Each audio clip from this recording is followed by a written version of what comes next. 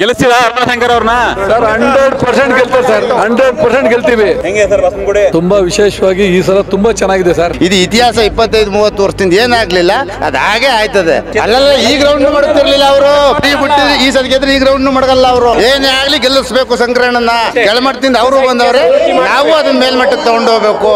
ಅವರು ಬಡತನದಿಂದನೇ ಬಂದಿರೋ ಸಂಕ್ರಮಣ ಆ ಮಟ್ಟಕ್ಕೆ ಬಡತನ ಏನು ಅನ್ನೋದು ಸಂಕ್ರಮಣ ಚೆನ್ನಾಗಿ ಗೊತ್ತು. ನಮ್ಮ ಶಂಕರಣ್ಣರು ಜಾತಿಯ ಮೇಲೆ ರಾಜಕೀಯ ಮಾಡಕ್ ಬಂದಿಲ್ಲ ಸರ್. ಆರು ತಿಂಗಳಿಂದ ಸಾಮಾಜಿಕ ಕೆಲಸಗಳನ್ನ ಮಾಡ್ತಾ ಬಂದಿದ್ದಾರೆ. ಬಸವನಗುಡಿಯಲ್ಲಿ ಒಂದು ಹೊಸ ಬೆಳಕನ್ನ ಹೊಸ ಅಭ್ಯರ್ಥಿಯನ್ನ ನಾವು ಅಪೇಕ್ಷೆ ಪಡ್ತಾ ಇದ್ದೀವಿ. ಸೂರ್ಯ ಚಂದ್ರ ಇರೋದು ಎಷ್ಟು ಸತ್ಯವೋ ಕುಮಾರಣ್ಣ ಮುಖ್ಯಮಂತ್ರಿ ಆಗೋದು ಅಷ್ಟೇ ಸತ್ಯ. ಅರಮನೆ ಶಂಕರ್ ಅವರು ಕಳೆದ ಮೂರುವರೆ ನಾಲ್ಕು ತಿಂಗಳುಗಳಿಂದ ಸತತವಾಗಿ ಎಲ್ಲಾ ಜನಗಳಿಗೂ ಸ್ಪಂದಿಸುತ್ತಾ ಕಾರ್ಯಕ್ರಮ ಆಯೋಜನೆ ಮಾಡ್ಕೊಂಡ್ ಬಂದಿದ್ದಾರೆ. ಗೆಲ್ಲಿಸ್ಬೇಕು ಸರ್. ಹದಿನೈದು ವರ್ಷದಿಂದ ಉಂಡೆನಾಮ ಹಾಕ್ಸ್ಕೊಂಡಿದೀವಿ ನಮ್ ಕಷ್ಟ ನಮಗ್ ಗೊತ್ತು. ಈ ಬಾರಿ ಪಂಚರತ್ನ ಯೋಜನೆಗಳು ಎಲ್ರಿಗೂ ತಲುಪಬೇಕು ಸರ್. ಈ ವರ್ಷ ನಾವು ಇತಿಹಾಸ ನಿರ್ಮಾಣ ಮಾಡೋದ್ರ ಮುಖಾಂತರ ಬಸವನಗುಡಿ ಕ್ಷೇತ್ರದಲ್ಲಿ ಜೆಡಿಎಸ್ ಪದಕ್ಕೆ ಅವರು ಬಸ್ಬಿಟ್ಟವ್ರೆ ಬಡವ್ರಿಗೆ ದಾನ ಅವ್ರನ್ನ ನಮ್ಮ ಶಂಕರಣ್ಣವರು ವಿನ್ ಆಗ್ತಾರೆ.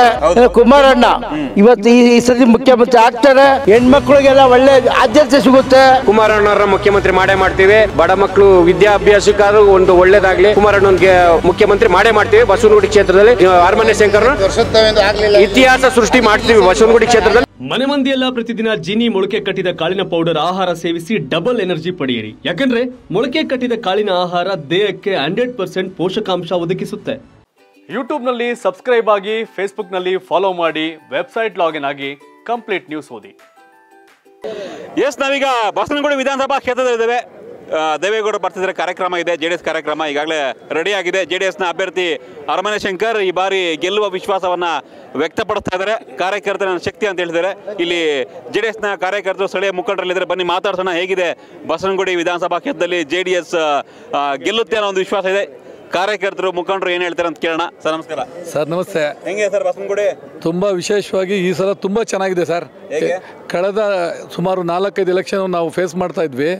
ಆದರೆ ಈ ಸಲ ಪ್ರತಿಯೊಂದು ಜನಗಳ ನಾಡಿ ಮಿಡಿತಕ್ಕೆ ನಾವು ಮೀಟ್ ಆಗಿದ್ದೀವಿ ಅನ್ನೋದು ನಮ್ಮ ಭಾವನೆ.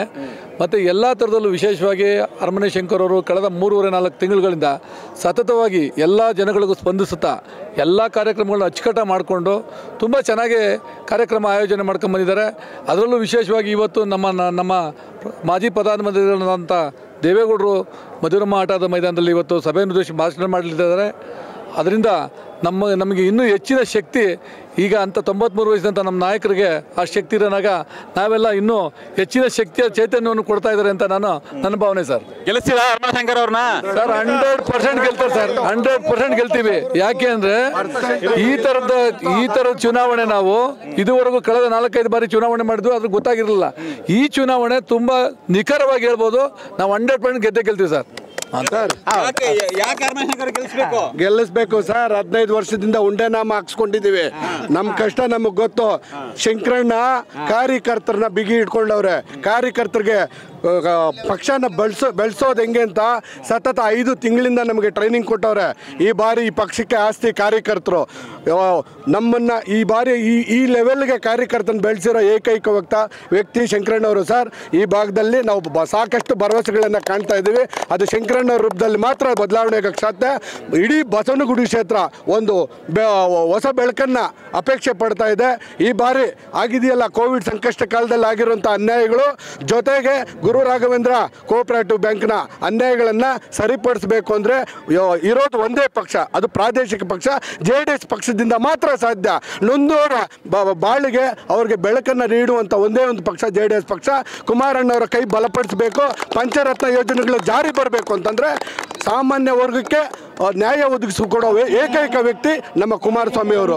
ದಯಮಾಡಿ ಕೈ ಮುಗಿದು ಬೇಡ್ಕೊಂತೀವಿ ಈ ಬಾರಿಯ ಕರ್ನಾಟಕ ರಾಜ್ಯದ ಚುನಾವಣೆಯಲ್ಲಿ ಜೆ ಡಿ ಎಸ್ ಪಕ್ಷವನ್ನು ಎಲ್ಲರೂ ಕೈ ಹಿಡಿಬೇಕು. ಅಂತೇಳಿ ಈ ಈ ಬಾರಿ ಪಂಚರತ್ನ ಯೋಜನೆಗಳು ಎಲ್ರಿಗೂ ತಲುಪಬೇಕು ಸರ್. ನಮ್ಮ ಶಂಕರಣ್ಣ ಅವರು ಹೆಚ್ಚು ಕಡಿಮೆ ಒಂದು ವರ್ಷದಿಂದ ನಮ್ಮ ಎಲ್ಲ ಕಾರ್ಯಕರ್ತರ ಮನಸ್ಸನ್ನು ಗೆದ್ದಿದ್ದಾರೆ. ನಾವು ಫಿದಾ ಆಗಿ ಸತತ ಆರೇಳು ತಿಂಗಳಿಂದ ನಮ್ಮ ಮನೆಗಳನ್ನು ತೋರೆದು ಕೆಲಸ ಮಾಡ್ತಾ ಇದ್ದೀವಿ.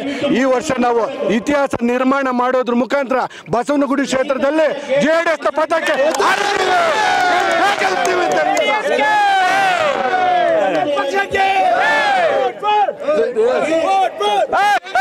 ಸರ್. ಗೆಲ್ಲಿಸ್ತೀರಾ ಅರ್ಮನೆ ಗೆಲ್ಸಾಗಿಸ್ಬೇಕು. ಅರಮನೆ ಶಂಕರ್ ಗೆಲ್ಸಾಗಿಸ್ಬೇಕು.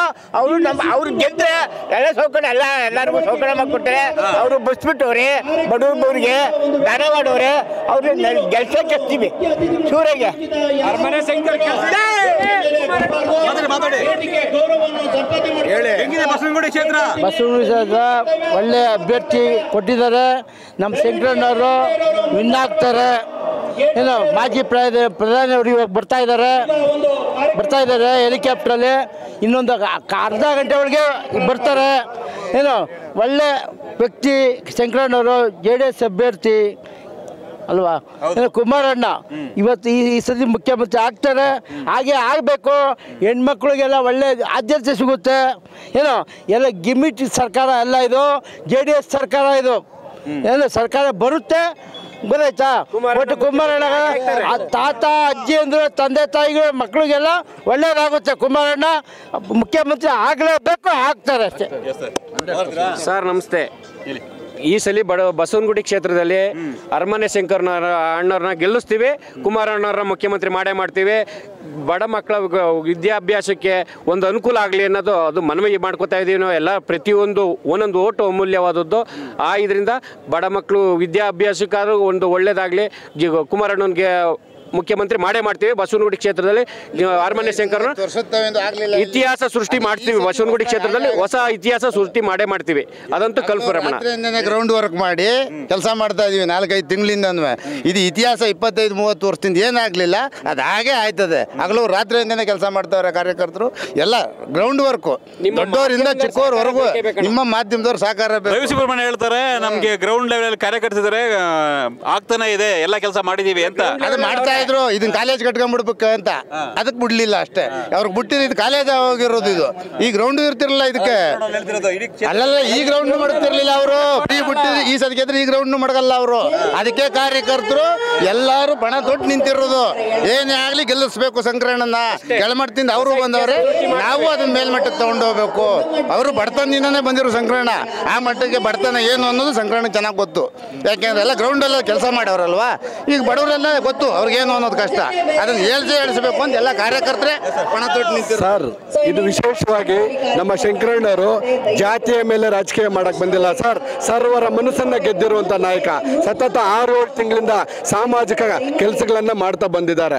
ಆದ್ರಿಂದ ಸರ್, ಈ ಲೆವೆಲ್ಗೆ ಜನ ಕ್ರಿಯೇಟ್ ಆಗಿರೋದು. ಜಾತಿಯ ಆಧಾರದ ಮೇಲೆ ನಾವು ರಾಜಕೀಯ ಮಾಡಿದ್ದಿದ್ರೆ ಮತ ಅನ್ನೋದು ಒಂದು ಕಡೆ ಕ್ರೋಢೀಕರಣ ಆಗ್ತಾ ಇತ್ತು.